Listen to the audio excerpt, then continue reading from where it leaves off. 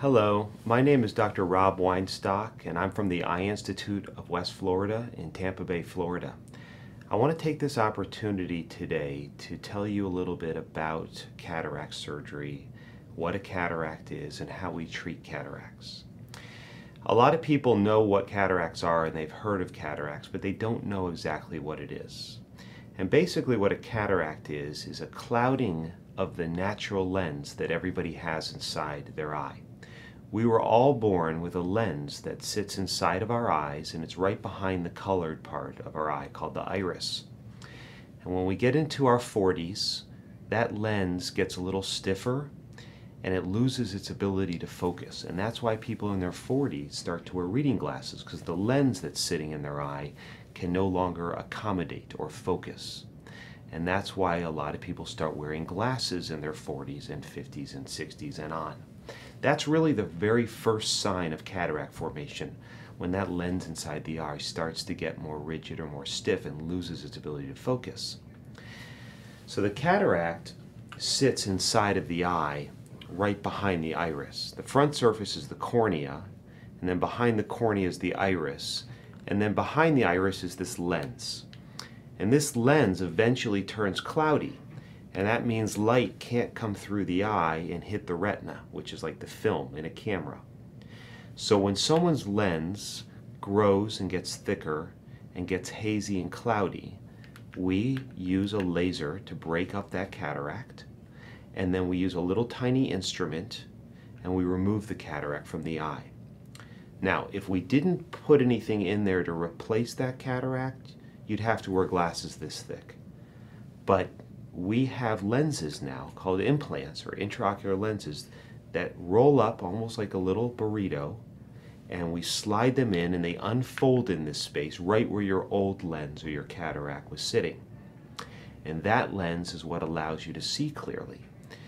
Now, there's a lot of different choices and options for what lens we put inside the eye.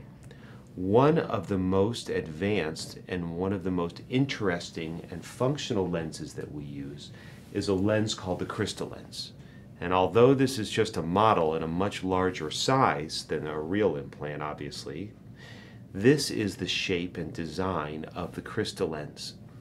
And what's unique about this particular lens, called the Crystalens, is that it has these little hinges right here and right here, which allow the lens, when it's sitting into eye, in the eye, to actually move a little bit. Because the same way my fingers and hands can make this lens make this motion, there are muscles that surround the lens of the eye, the same muscles that sit around a young eye that make the young eye lens move. This Crystalens is a little soft and flexible, and the muscles of an eye, even an eye that is on someone in their 50s or 60s or 70s or 80s, those muscles are still there. And if we put the Crystalens in, the lens can move a little bit in the eye like this, the same way it did when you were younger. And this is the only lens available that's been approved by the FDA that actually is designed like this to move inside the eye to allow a patient to regain some motion of the lens, which translates into a broader range of vision without glasses. So this allows a patient to have cataract surgery and see great in the distance, but also have an increased range of vision to where they can see in the intermediate zone, like the dashboard of a car or a computer, or even a reader, a digital reader and allows people to have a level of freedom from glasses that we haven't been able to achieve before. So this is the lens that I use in a lot of my friends and my parents' friends and my relatives because it does allow a patient to have really high quality vision, great contrast sensitivity, great night vision, but also a lot more freedom from glasses, especially in the mid-range, than we've been able to allow patients to have before this technology was invented.